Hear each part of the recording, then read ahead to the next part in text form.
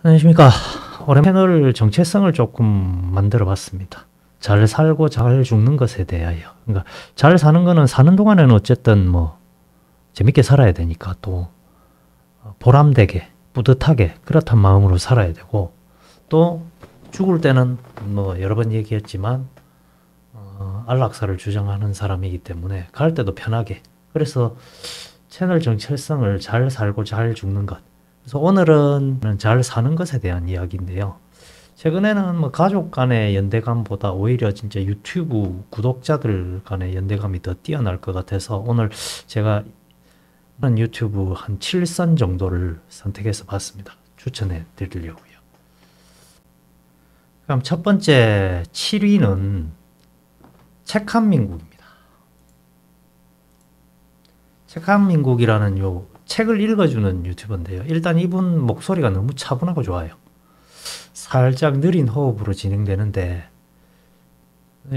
나는 취침 전에 또 타이머 맞춰놓고 잠도 자기도 합니다.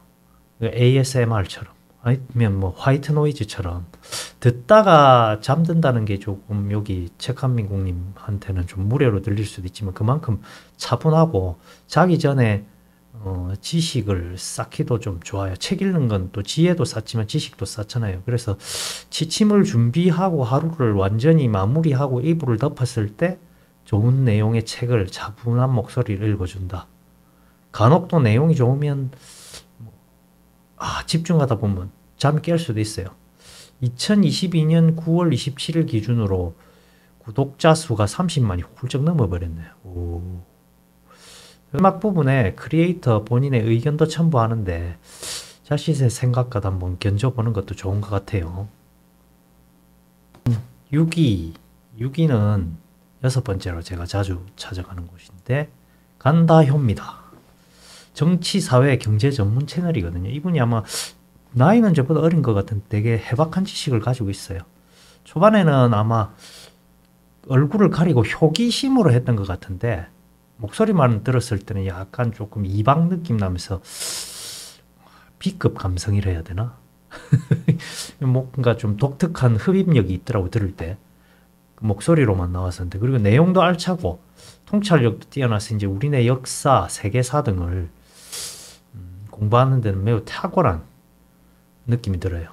그래서 대형 채널들이 빠지기 쉬운 여론 등을 의식한 우리 이제 앞으로 또 더 대형 채널이 있겠지만 그런 것들은 주로 이제 여론이나 또는 영향력이 커지면서 비위를 좀 맞추거든. 그래서 어, 이런 건 좀 조심하기도 하고 그런데 쭉 자기 의견을 얘기하는 것도 괜찮고 입담도 좀 걸쭉하고 또 내가 볼 때는 꾸밈이 없어요. 다만 약간 B급 감성이 들어가 있어요. 재미도 있어요. 그래서 저는 두 번째로 한다효님을 추천합니다. 5위입니다. 5위는 어, 캔들 스토리인데요.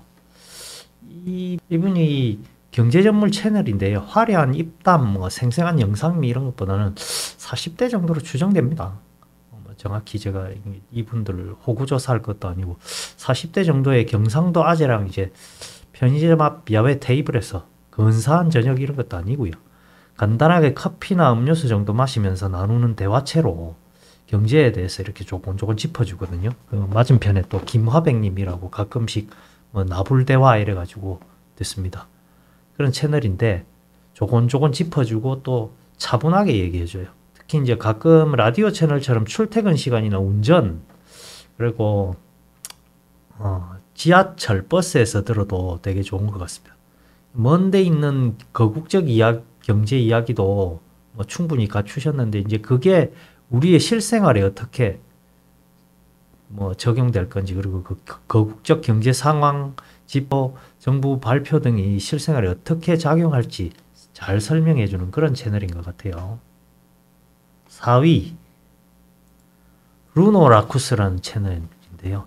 이 크리에이터 이분에 대해서는 제가 잘 알지 못합니다. 알지 못하는데 아마 뭐 음악계나 이쪽에 전공을 하셨거나 몸을 좀 담고 있는 것 같아요.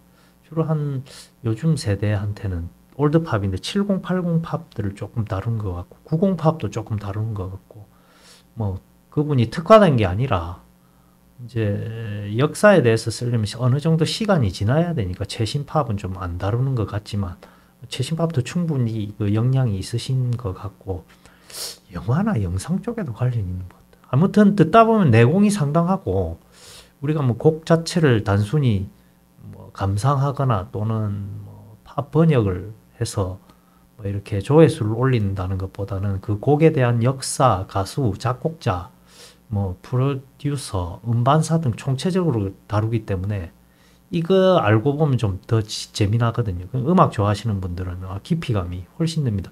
약간 뭐 요즘 뭐 도슨트라 해야 되나? 네, 미술관 이렇게 가면 이제 뭐 예전 큐레이터 도슨트라고 해야 되나? 하여튼 그런 느낌입니다. 그리고 quality가 되게 좋아요. 저는 이제 뭐 마이클 잭슨을 신의 경지에 오른 사람이라 생각하기 때문에 특히 마이클 잭슨 편 좀 많이 다루셨던데 그거 필수로 읽으시면 저랑 뭐 연대감이 더 생길지도 모르겠네요. 끈끈하게. 아무튼 또 이런 것도 하나의 삶의 뭐 즐거움으로 플러스 하나 시켜주십시오. 재밌게 살게. 자 이번엔 3입니다. 뭐 이분은 뭐 말 안 해도 다 아실 건데 바로 이동진의 파이아키아.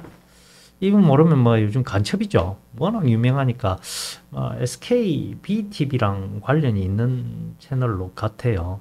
2시간짜리 영화로 뭐 5시간, 10시간도 떠들 수 있는 분이니까 이미 뭐 방대한 지식을 가지고 계신 분으로 알고 있고 단순한 영화 지식만이 아니라 이분이 이제 계속적으로 보면 사실 영화라는 게 종합 예술이라서 뭐 인문학, 역사, 뭐 음악 이런 거 다 같이 다루잖아요. 이분이 계속 뭐 시리즈물로 역사라든지 이런 것도 다루더라고. 그래서 보다 보면 즐겁게 영화 한 편 시청하고 배우는 게 너무 많아요. 이게 뭐 나도 모르게 자연스럽게 지식도 성장하고 최소한 볼만한 영화 그리고 이제 새 최근에 사람들이 이제 최신작, 최신편, 대중성을 띈 인기 있는 영화 좀 많은데 사실은 인기 있다기보다는 세월이 지난 영화 그 다음에 깊이감 있는 다루는 영화들을 추천도 해주시거든요. 그래서 이번 주에 영화관에는 어떤 게 나왔을까 할 때 이분 의견을 많이 참고하기 때문에 한 번씩 보시고 또 갔다 와서 갔다 와서 이분이 해석해 주는 거 그리고 또 완벽이 있는 영화 관련 용어 같은 것도 잘 설명해 주셔서 정말 멋진 분이에요. 이분은 뭐 강력히 추천합니다. 특히 뭐 영화 좋아하시는 분들은 그 다음 2입니다.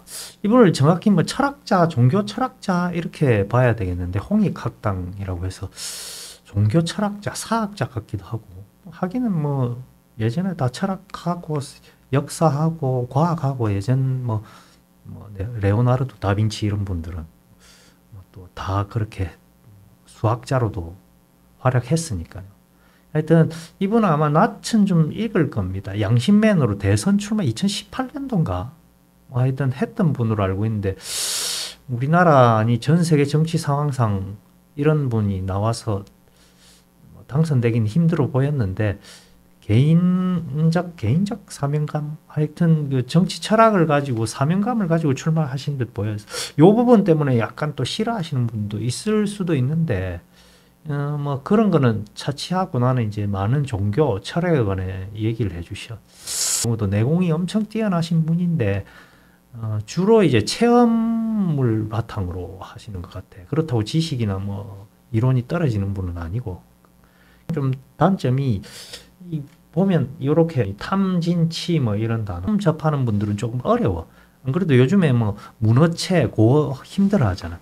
그래서 꿈은 진입 장벽이 있는데 그냥 나는 어떻게 했느냐 하면 좀 뭐 단어 이렇게 TV로 유튜브를 보고 이분 영상 보고 탐진치 뭐 이런 단어는 조금씩 검색하면서 읽었거든. 순서에 관계없이 뭐 이렇게 산문 인문학 이렇게 쭉쭉쭉쭉 읽어가다 보면 따라가 따라가는데 뭐 내가 뭐 얼마나 깊이가 있겠노. 다만 마음이 편안해지고 또 아 이런 해답 해답은 자기가 찾아가는 거니까. 그래서 음, 인문학 또는 역사, 역사 또 종교 철학 같은 부분은 결국에는 인간이 가야 될 길이기 때문에 그런 부분에서 조금 혼란스러운 분들은 이런 내용을 조금 확인한 어, 요 채널에서 공부를 좀 하시면 돼요. 약간은 인내의 시간 조금 있더라고 초짜들은. 아까 말했듯이 진입 장벽이 조금 있어서 조금 뭐 호불호가 갈릴 수도 있는 채널이네. 자, 대망의 1입니다. 슈카월드죠. 이거 뭐내 방문 횟수만 해도 내가 이분 조회하고 눌러준 것만 해도 엄청하다. 이분은 이미 셀럽을 넘어섰, 넘어섰죠.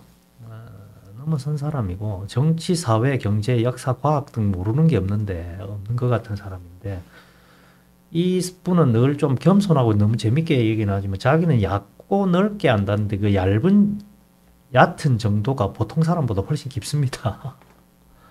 이 유튜브를 찍고 영상을 조금 촬영 제작을 하다 보니까 뭐 촬영 별거 아니지만 뭐 다큐도 찍어보고 하니까 찾을 찍을 거리를 만들어서 그런지 몰라도 굉장히 관찰력도 뛰어나신 분 같아요. 시사 상식이나 이런 것도 정통해서 타고난 머리에 노력을 많이 하시는 분 같아요.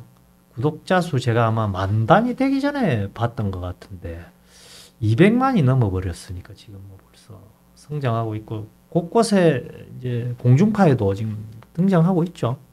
뭐 유쾌하고 밝고 이 압축된 정보를 재미나게 이게 진행하다 보니까 보면 시간 가는 줄 몰라요. 폼이 요즘 장난 요즘 장난 아닙니다. 이거 진행하는 거. 그리고 너무나 다 대형 채널이 되다 보니까 이제 초반에 우리가 그렇잖아요. 뭐 보는 눈이 많아지고 시선이 집중되면 행동에 조심하잖아요. 그래서 요 분이 자기 의견은 조금씩 줄어드는데 은근 살짝 비추긴 비춰. 그래서 간다효 앞에 말했던 유기 간다효가 조금 어, 정제되지 않은 느낌의 날 것이라면 요거는 좀 세련되고 정제되는데 아마 워낙 많으니까 약간 그렇게 했나. 그래서 내 유튜브 영상 시청 중에 부동의 1위 독주 중입니다. 독주 중이고 이렇게 얘기해 봤거든요. 제가 추천할 만한 오늘은 이렇게 이제 잘 사는 것 다음엔 또 잘 죽는 법에 대해서 이 얘기 잘 죽는 것에 대한 뭐 주제로 다룰 오늘은 잘 살려면 최근에는 이런 뭐 좋은 영상 을 보면서 지식도 늘어가고 즐거움, 엔터테인먼트의 역할도 해요. 충분히 하니까 뭐 한 일곱 개 정도로 추려봤는데 여러분들은 뭐 내가 저한테 추천할 만한 영상이 있는지 댓글로 적어주시고